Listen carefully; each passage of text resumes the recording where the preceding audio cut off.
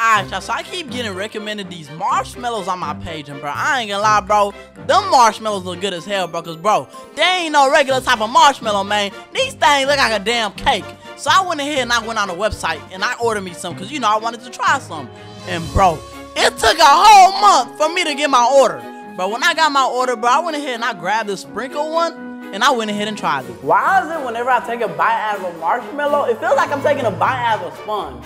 So um, I didn't really like that marshmallow. I went ahead and I got me another one to see if my opinion would change about it.